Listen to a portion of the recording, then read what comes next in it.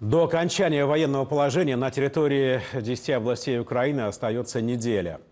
Продавленный с таким трудом после провокации в Керченском проливе, сейчас особый режим в стране Петру Порошенко просто необходим. Иначе власть ему не сохранить. Для продления нужна новая провокация желательно с кровью. Больше всего для этих целей сейчас подходит Донбасс. Там это понимают, чувствуют и внимательно следят за перемещениями украинских военных. Из Донбасса Александр Сладков. Угроза у нас здесь.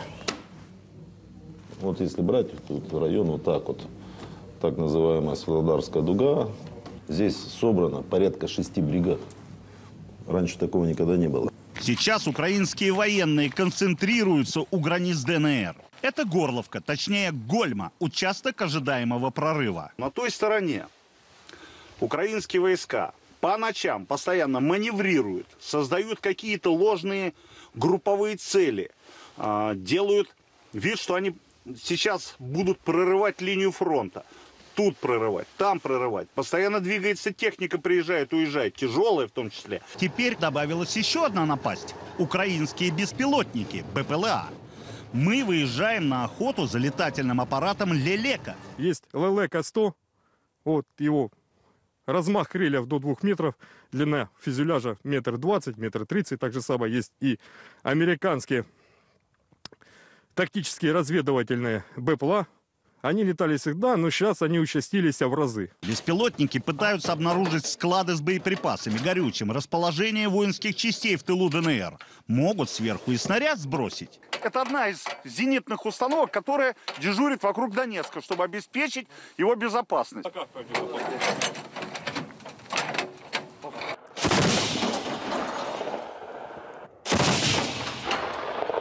Главном штабе ДНР говорят, украинские военные со своими планами опять, скорее всего, попадут в окружение и котлы. Раньше ВСУ тоже пытались взять республику в кольцо. Это фактически план 2014 года.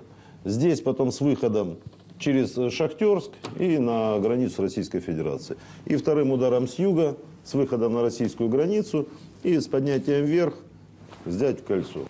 Удивительно, возможное украинское наступление солдаты ДНР связывают с надеждой на свою победу и на скорое окончание войны. Пусть попробуют. Мы находимся в постоянной боевой готовности, ждем. Мы прям ждем этого уже с нетерпением. Это будет их последний рывок. Ну, уже да, добить эту гадину и все.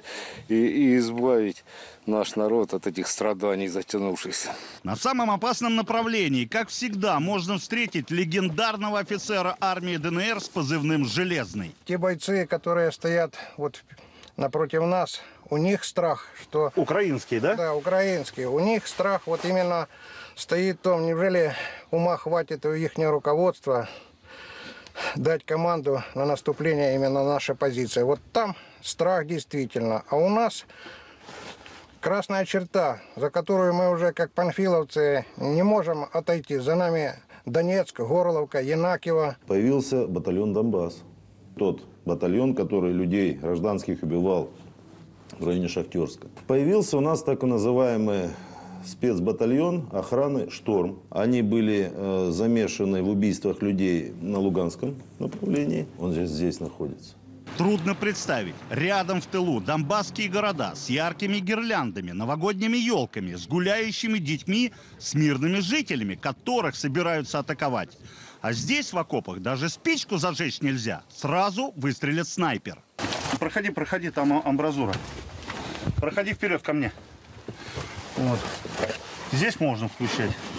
Здесь закрыто. Дальше сейчас выключаем камеру снова. Но я вам хочу сказать, сегодня тихо. Сегодня тихо. Они, вот, пока. Не знаю. Но туман. Э, хорошая атмосфера для диверсионных групп. Для попыток раздергать. Ну, посмотрим. Зато э, беспилотная авиация немножко тише себя ведет. В таких условиях. Ну, хотелось бы верить. Настораживающая тишина. Вчера стреляли. А, что будет завтра, не знаю. Но война, она все равно продолжается. Здесь, в Донбассе. Александр Сладков, Павел Выдрин, Игорь Уклеин, Андрей Руденко, Олег Бондаренко. Вести недели. Горловка.